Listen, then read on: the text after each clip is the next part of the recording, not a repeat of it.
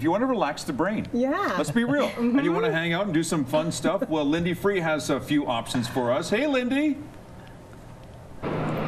Hey guys, so again, we're on the construction site here at Stampede Grounds, and it's definitely a topic that's trending right now all over social media. People are taking pictures uh, up from their condo buildings and when they're going by on the train. It is the uh, the tent for um, it's the trademark blue and yellow uh, big top and it has arrived here in calgary. It's going to officially go up at one o'clock today and it means cirque du soleil is in town for their new show called Kurios.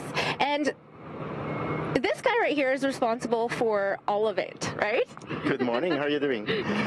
so yes, we we are. We just arrived, in fact, yesterday in order to start our setup.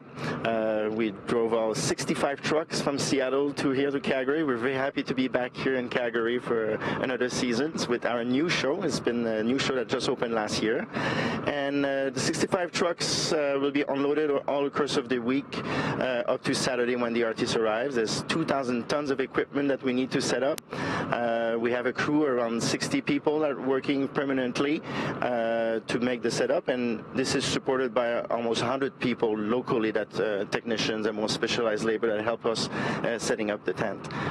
Right. So there was just a whole bunch of guys behind us a second ago. They just went on break, but there is a massive amount of people that are involved in the setup of this. If you guys do get a chance, make sure you come down. Check it out today at 1 p.m. The big top is going to be erected and it's a big event. Again, it's trending all over social media and it takes 65 trucks to transport all of this stuff. And then how long, how many days does it take? You said six? It's five or six days, and where almost everything is up. Then the artists arrive for some training, adjustment with the equipment, and then uh, we're ready for premiere. We're opening uh, next uh, Thursday, April 9th. Okay, very exciting. If you don't have your tickets, you might want to get them. Stick with us because when we come back, we are going to talk about the performers, what it's like traveling on the road, and just being a part of such a big production. So you don't want to miss that. Pretty Thanks. cool that she found somebody who's actually also wearing orange.